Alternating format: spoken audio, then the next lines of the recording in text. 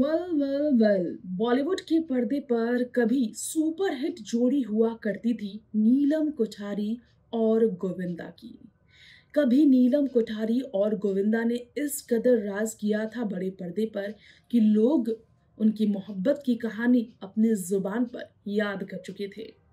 नब्बे के दशक में नीलम कोठारी और गोविंदा की फ़िल्मों ने हर किसी को उनका दीवाना बना दिया था।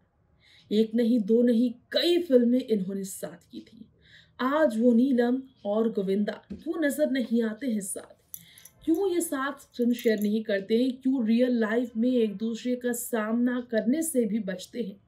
क्यों आखिर नीलम, गोविंदा का नाम भी अपनी ज़ुबान पर लाना पसंद नहीं करती है?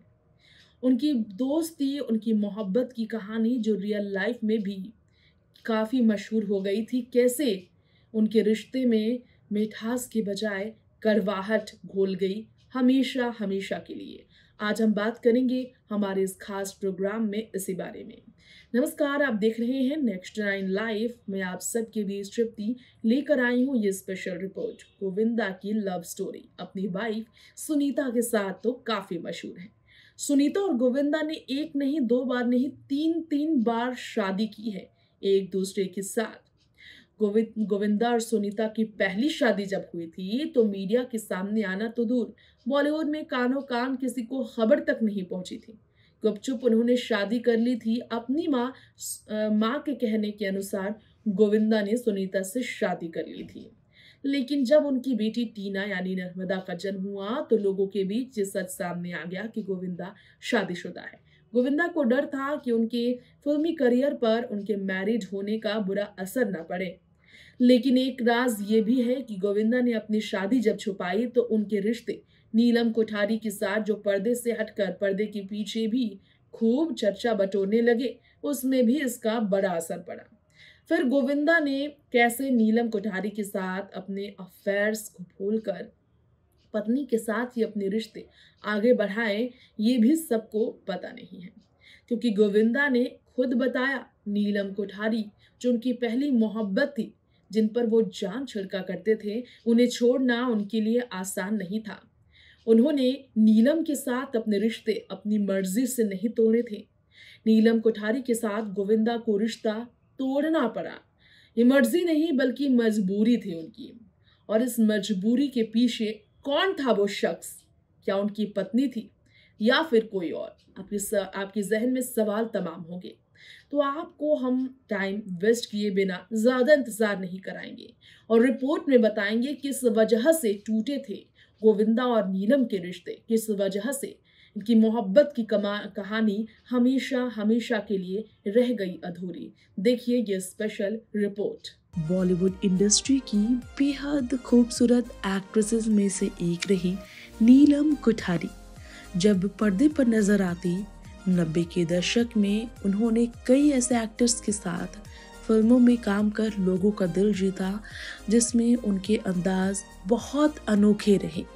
खैर, यहाँ आपको बता दें, आज नीलम कुठारी की बात हम इसलिए कर रहे हैं क्योंकि बॉलीवुड के शानदार एक्टर्स में से एक रहे। गोविंदा का आज जन्मदिन है।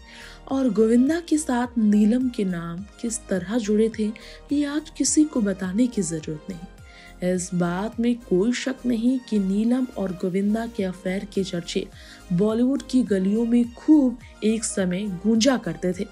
लेकिन अचानक ऐसा क्या हुआ कि गोविंदा ने नीलम को छोड़ एक दूसरी महिला से शादी करने का फैसला लिया?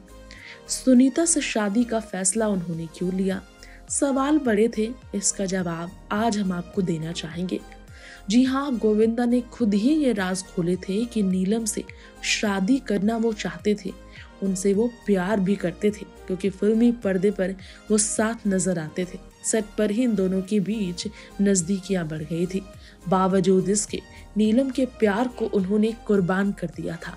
और सुनीता से अपनी सगाई तक तोड़ने वाले गोविंदा ने नीलम को छोड़ दिया था। क्यों? कारण ये है कि गोविंदा की माँ चाहती थी कि वो डायरेक्टर आनंद सिंह की साली, यानी कि सुनीता जो उनकी वर्तमान में वाइफ है, उनसे शादी करे। गोविंदा ने अपनी माँ की बात कभी नहीं टाली थी। सिर्फ़ यही कारण है कि गोविंदा ने अपनी माँ की बात सुनी और अपनी माँ के साथ काम, अपनी माँ के लिए नीलम को छोड़ सुनीता से शादी कर ली थी। माँ के कहने पर मार्च उन्नीस सौ सतासी में सुनीता से गोविंदा ने शादी की थी। अपनी शादी के बाद सबसे उन्होंने छुपाई थी, ताकि उनकी करियर पर इसका प्रभाव ना पड़े। लेकिन सब जान गए कि गोविंदा शादीशुदा है जब उनकी बेटी टीना यानी कि नर्मदा का जन्म हुआ था। नब्बे के दशक में मैगजीन को दिए गए इंटरव्यू में उन्होंने ये कहा कि शादी के बाद भी नीलम को वो नहीं भूले थे। नीलम के साथ उन्होंने फ़िल्में की और नीलम सिर्फ़ उनके साथ स्क्रीन शेयर करे, वही वो चाहते थे। लेकिन वो प्यार उनकी पहली थी और हमेशा रहेंगी, ये उन्होंने कहा था। तो गोविंदा और नीलम कोठारी की कहानी क्यों रह गई हमेशा हमेशा के लिए अधूरी? क्यों नीलम कोठारी और गोविंदा ने अपनी मोहब्बत के पन्नों में हमेशा के लिए साथ लिखने की चाह को अपने दिल में दबा कर तो रखा, लेकिन हमेशा के लिए अपनी इस ख्वाहिश को मार डाला। आपने जाना, वो कोई और नहीं, गोविंदा की अपनी माँ थी, जिसकी वजह से गोविंदा ने नीलम को प्यार में धोखा दे दिया। नीलम को सिर्फ़ और सिर्फ़ आँसू दिए। सारे सपने नीलम ने जो सजाए, उस सपनों पर गोविंदा ने पानी फेर कर सुनीता को अपनी ज़िंदगी में हमेशा के लिए जगह दे दी। ये बात अलग है कि नीलम ने बाद में जिस तरह से समीर सोनी के साथ शादी कर अपनी ज़िंदगी में खुशहाली बटोरी है, गोविंदा को भी सुनीता से बेपनाह प्यार मिला है और इसलिए उन्होंने तीन तीन बार अपनी पत्नी से ही शादी की है। ये बात अलग है कि सुनीता हमेशा अपने हस्बैंड को लेकर फुल सपोर्टिव रही है, लेकिन गोविंदा के इसी तरह से मजाकिया और फनी फ्लर्टी नेचर की वजह से सुनीता कई बार इनसिक्योर भी रही है। नीलम कोठारी के बाद रानी मुखर्जी के साथ भी गोविंदा के नाम खूब जुड़े थे, जिसके बाद सुनीता काफ़ी नाराज़ रही थी।